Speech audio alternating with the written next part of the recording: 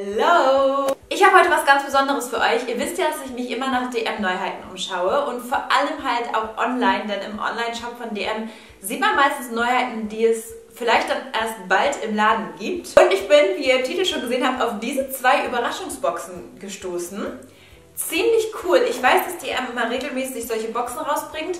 Und zwar haben die jetzt beide jeweils 10 Euro gekostet und da sollen mindestens Produkte im Wert von 20 Euro drin sein. Ich habe jetzt hier zwei Boxen. Es gab allerdings drei, aber die eine war schon ausverkauft. Deswegen hoffe ich, wenn dieses Video online geht, dass es noch beide gibt. Äh, als ich eben noch geguckt habe, und das Video kommt jetzt eigentlich morgen direkt online, war es zumindest noch so. Verlinke euch die gerne in der Infobox, könnt ihr mal schauen. Ich bin auf jeden Fall mega gespannt. Ich glaube, dass die so ein bisschen inspiriert sind von der Glow, die ja eigentlich stattgefunden hätte, aber ja, wegen Corona natürlich irgendwie nicht ging. Wir machen jetzt heute einfach mal so ein Unboxing und schauen mal, ob sich die Boxen lohnen. Und dann seht ihr vielleicht auch, welche am besten ist. Die dritte habe ich jetzt leider nicht, aber zumindest kriegt ihr einen Eindruck, wie die Boxen grundsätzlich sind. Ich glaube, wenn man den DM Instagram-Kanal abonnieren sollte, dann würde man auch mitbekommen, wenn es beim nächsten Mal wieder solche Boxen gibt. Und dann wisst ihr Bescheid, was euch so erwarten könnte. Deswegen starten wir direkt und machen die erste Box auf. Let's go! Die erste Box nennt sich Get the Floral Glow. Okay, das war jetzt irgendwie voll der Zungenbrecher. Sieht erstmal mega schön aus in diesem mintigen Pastell mit den ganzen schönen Blumen. Das sieht richtig, richtig ansprechend aus. Auch der Karton alleine, der ist schon schön, um ihn aufzubewahren oder halt, um mal wieder was zu verschicken. Ich bin gespannt. Oh, wow. Okay, so sieht das Ganze jetzt aus. Ihr seht hier oben haben wir eine Beschreibung mit den ganzen Produkten. Und auch tatsächlich, ach, der Preis steht auch dabei. Das ist ja cool. Wir haben jetzt hier sieben Produkte. Sehr, sehr cool. Ich greife mal einfach rein. Als erstes haben wir hier von der Marke Foamy dieses feste Shampoo. So sieht das hier aus. Ähm, ja, festes Shampoo ist ja allgemein ein Trend, was jetzt auch sehr, sehr häufig in der Drogerie zu finden ist. Sollte ja wahrscheinlich alles so ein bisschen in diese blumige Richtung gehen. Das riecht auf jeden Fall schon mal sehr, sehr blumig und finde ich ein sehr spannendes Produkt. Soll für ca. 25 Haarwäschen reichen und ist mit Hibiskus. Also tatsächlich ähm, eine Blume. Finde ich schon mal sehr gut. Kostet übrigens 4,95 Euro. Also das ist schon mal sehr, sehr gut, wenn man überlegt, man hat nur 10 Euro für die Box bezahlt. Weiter geht's mit diesem Porenfein-Serum von Schebens. Wie ihr seht, sind so drei ähm, grüne Ampullen. Soll die Haut verfeinern und klären mit ähm, Zink, Alantoin und noch irgendwas, was ich nicht aussprechen kann. Auf jeden Fall finde ich auch ganz cool. Das ist alles so grün-rosa, also so ein bisschen angelehnt an Blumen. Finde ich schon mal sehr cool und sehr durchdacht. Kostet, by the way, 1,95. Das nächste sehr große Produkt ist hier von Alverde. Finde ich cool, Naturkosmetik. Eine Cremeöl-Lotion mit Bio-Jasmin. Was ich hier direkt ganz gut finde, ist, dass es halt also ich weiß nicht, wie es euch geht, aber ich denke, dass ganz, ganz viele, vielleicht auch die diese Boxen kaufen würden, so Balea und so da auch viel kennen und auch viele Produkte schon probiert haben. Und bei Alverde, also gerade Naturkosmetik, da sind es halt noch weniger Leute, die da einfach so zugreifen. Mag vielleicht auch im Optischen manchmal liegen, dass es nicht so bunt und so ansprechend aussieht. Also es ist ja Geschmackssache, aber ihr wisst, glaube ich, was ich meine. Und ich finde es ganz cool, dass die dann halt solche Produkte auch da reintun, dass man vielleicht mal was Neues testet, ohne jetzt extra so dafür Geld auszugeben. Wenn ihr wisst, was ich meine, man bekommt ja irgendwie halt ein bisschen was geschenkt. Sehr, sehr gut. Halt so ein bisschen naturmäßig, wie Naturkosmetik immer riecht, aber ist für sehr trockene Haut, finde ich cool und ist natürlich auch wieder Full Size und kostet 2,25. Dann haben wir hier noch so eine Art Probe oder also es ist halt eine Einmalbehandlung von Langhaar-Mädchen, eine Haarkur. Ähm, und zwar ist die mit Kokosöl und Buriti-Öl. Ich finde ja allgemein, Langhaar-Mädchen hat so ein schönes Design. Passt natürlich total zu diesem Blumenthema. Ja, also ist für Intense Repair, finde ich sehr cool. Steht hier preislich mit 2,45 Euro. Kann ich mir gar nicht vorstellen. Ist das echt so teuer? Das ist doch nur eine Anwendung. Maximal vielleicht zwei, wenn man daraus eine Kur macht. Aber okay. Meine Langhaar-Mädchen-Produkte sind jetzt nicht so billig, aber trotzdem. Krass. Nochmal Naturkosmetik von La Vera haben wir hier ein Rouge. So einem richtig schönen, rosigen, natürlichen Ton. Das kostet zum Beispiel 6,45 Euro und ist damit das teuerste Produkt aus der Box. Aber das finde ich ganz cool. Ist halt ein natürlicher Ton. Passt, wie gesagt, einfach in dieses Thema. Und äh, wie gesagt, finde ich auch toll, dass man da mal ein Naturkosmetikprodukt testen kann, ohne dass man dafür gleich 7 Euro ausgibt oder 6,45. Als nächstes haben wir für 1,95 hier diesen Essence Wet Look Lip Gloss in der Farbe Think Pink. Passt natürlich auch perfekt. Und ist ein richtig schöner rosiger Ton mit so ganz bisschen Schimmer. Macht man auf jeden Fall nichts falsch, finde ich ein sehr cooles Produkt. Ja, kann ich nichts anderes zu sagen. Vor allem die Farbe finde ich echt schön. Und das letzte Produkt aus der Box ist ein richtig cooler Nagellack von Trended Up. Was ist das für eine schöne sommerliche Farbe, ohne zu knallig zu sein, oder? Ich finde das einen richtig, richtig schönen Ton. Und auch da muss ich sagen, passt es einfach perfekt in dieses Thema, in diese Farbwelt. Wenn man mal schaut, alle Produkte sind irgendwie grün oder in diesem Rosenholz gehalten. Und da muss ich sagen, da haben die sich wirklich Gedanken gemacht. Wir können ja mal so aus Spaß kurz ausrechnen, was wir hier für einen Boxwert haben. Tatsächlich 22,25 Euro und dafür habe ich 10 Euro jetzt bezahlt. Muss ich sagen, lohnt sich total. Also finde ich eine coole Sache, ist eine super Box. Äh, schöne Produkte drin, sieht optisch toll aus, ist super hergerichtet und man hat eine schöne Mischung aus Pflegeprodukten und dekorativer Kosmetik.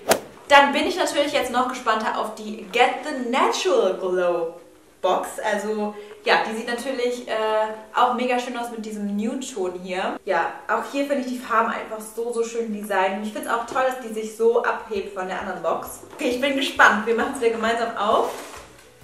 Uh. Ja, sehr cool. Okay, also auch hier haben wir wieder sieben Produkte. Ich gucke mir die jetzt gar nicht so genau an. Und wow. Also ich muss sagen, direkt kommt mir so ein, ein Kräutergeruch entgegen. So sehr natürlich. Passt natürlich zu diesem Natural Glow vielleicht. Hm, ich bin gespannt, was wir hier so finden werden. Okay, fangen wir an mit einer Creme, einer Tagescreme von Nivea. Natural Balance passt natürlich sehr, sehr gut zu dem Thema, auch mit diesem Grün. Kenne ich auf jeden Fall noch nicht, ist mit Aloe Vera und für normale und Mischhaut und soll 5,95 Euro kosten. Das ist natürlich das ist natürlich auch nicht wenig, deswegen finde ich sehr spannend. Als nächstes haben wir hier von I plus M. Wie spricht man diese Marke aus? Ich weiß es nicht ein Reinigung, also eine 2 in 1 Reinigung und Maske. Und zwar ist dieser erste Teil hier ein Reinigungsgel und diese, ja, dieser zweite hier eine Feuchtigkeitsmaske. Ich muss sagen, dieses Produkt habe ich noch nie bei DM so gesehen, aber vielleicht habe ich auch noch nie darauf geachtet, weil es so unscheinbar aussieht. Was mich auch hier wieder überrascht, wie bei Langhaarmädchen, soll das tatsächlich 2,90 Euro kosten. Das ist aber eigentlich nur eine Anwendung. Das finde ich schon echt teuer. Und ähm, ja, also weiß ich nicht, ob ich mir das sonst kaufen würde. Wahrscheinlich eher nicht, weil ich dann das Gefühl habe, wenn das doof ist, habe ich einfach 3 Euro gefühlt in Sand gesetzt. Aber dafür ist so eine Box halt toll, dass man einfach Produkte kennenlernt und passt natürlich auch sehr gut herein. Halt äh, fair, organic, vegan, also finde ich passt zu diesem Natural-Thema auch wieder ganz gut. Das wohl größte Produkt in der Box ist das hier und zwar ist es ein Kräutertee von Mivolis, nennt man die Marke so, das gesunde Plus auf jeden Fall.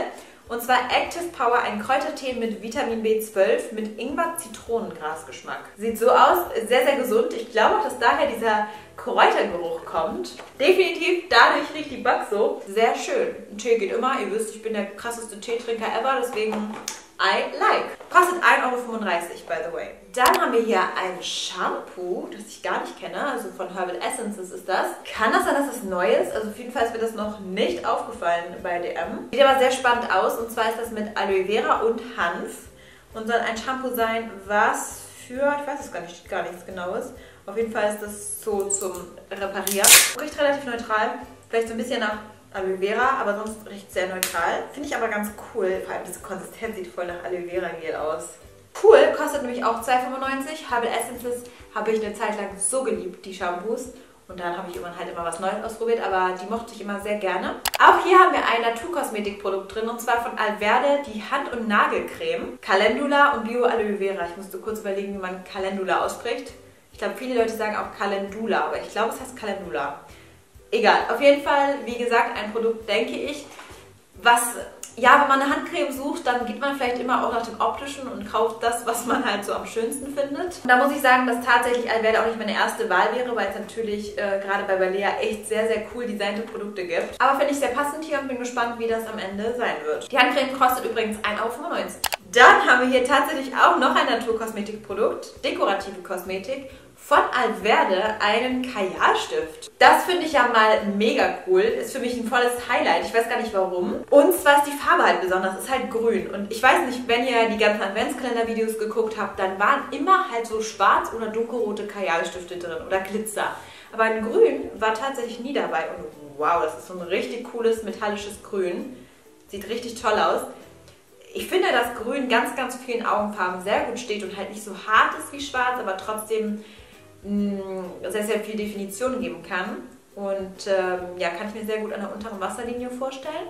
Werde ich mal wieder ausprobieren. Ich habe ja auch grüne Augen. Sieht man vielleicht, glaube ich, nicht so gut in der Kamera. Sieht immer ein bisschen braun aus. Aber der Stift kostet 1,75 und gefällt mir gut. Und hier ist das letzte Produkt, eine Lippenbutter von Veleda. Ist Veleda auch Naturkosmetik? Ja, ganzheitliche Naturkosmetik. Ich habe meinen Finger davor gehalten. Aber das finde ich sehr spannend. Ich finde auch gut, dass hier der Fokus wirklich sehr auf Naturkosmetik und auf diesen natürlichen Produkten liegt und auch weniger dekorative Kosmetik drin ist. Das passt, finde ich, irgendwie zum Thema und so ganz gut. So sieht die Lippenbutter hier aus. Vielleicht kennt ihr die ja. Also ich muss auch sagen, das wäre vielleicht auch nicht meine erste Wahl, wenn ich nach einer Lippenpflege suche. Wahrscheinlich wegen der Farbe. Das Design ist halt sehr schlicht. Es ist zwar eine auffällige Farbe, aber es ist insgesamt natürlich relativ schlicht. Deswegen finde ich das sehr, sehr spannend für sehr trockene Lippen und wird getestet. Ist mit ähm, Sonnenblumenöl, mit Rizinusöl, mit Rosenextrakt. Also sehr cool und spannend. Natürlich rechne ich jetzt auch hier mal aus, was wir hier für einen Gesamtwert haben. 22,30 Euro. Damit unterscheiden die sich ja nur um 5 Cent, also richtig top. Also Leute, was sagt ihr? Ich würde sagen, das war ein absoluter Erfolg. Für 10 Euro kann man da nichts sagen. Wie gesagt, ich verlinke euch die. Vielleicht gibt es sie ja noch, wenn sie ausverkauft sein sollten. Seid auf der Hut, vielleicht äh, gibt es ja Richtung Herbst nochmal solche Boxen. Kann ich mir wirklich sehr, sehr gut vorstellen, weil ich denke, dass die damit ähm, ja, gut fahren und das immer gut schnell verkauft wird. Aber ich finde es top. Also kann ich nur empfehlen. Deswegen würde mich jetzt auch nochmal interessieren, welche Box ihr jetzt besser fandet. Also die erste mit dem Blumen sozusagen Thema oder das natürliche. Ja, könnt ihr mir ja gerne mal schreiben. Und falls ihr die gelbe Box habt, das war glaube ich Fruity, dann könnt ihr mir mal schreiben, was da so drin war und wie ihr gerade im Vergleich die anderen beiden findet. Das war's auch schon. Ich hoffe, dieses Random-Video hat euch gefallen. Wie gesagt, ich habe das gesehen und sofort bestellt und dachte mir, das muss ich mit euch auspacken und schauen, was da so drin ist. Kennt man ja von DM eigentlich nicht so, dass die solche Boxen haben, außer diese Blackboxen, die es immer gab. Aber das ist ja dieses Jahr nicht gewesen. Ich glaube, das ist auch nicht mehr geplant. Ich weiß es nicht. Das war ja mal in Kooperation mit anderen Bloggern oder so, aber ja, bisher habe ich davon nichts mehr gehört. Deswegen lasst mir gerne Feedback da, wenn ich solche spontanen Sachen nochmal machen soll. Und dann sehen wir uns beim nächsten Mal wieder. Ciao!